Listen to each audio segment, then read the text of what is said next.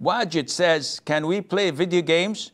My brother plays videos, video games constantly and is losing his grades and does not pray on time. How to make him quit? Well, Wajid, this is not your job, it's your father's job. How to make him quit? Unplug his video console and take it away. Video games can be halal, can be haram. Using this pen can be halal if I'm uh, writing your questions, and can be haram if I'm writing a love letter to someone who is an non-mahram. So you can't brush it with, uh, uh, uh paint it with the same brush. You have to look into it. A video game that leads to haram is haram. This goes without saying.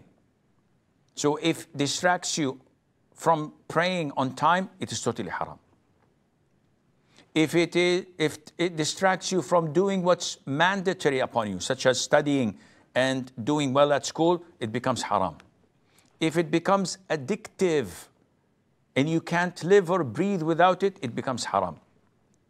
Let alone if it had women, if it had music, if it had haram scenes, if you are representing the US Army killing Muslims, if there's excessive violence, if there is sorcery or bringing life to the dead, etc., this goes without saying it's haram.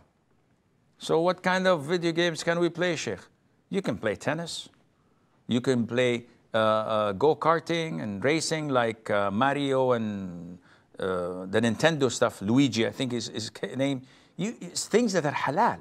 Yeah, this is okay.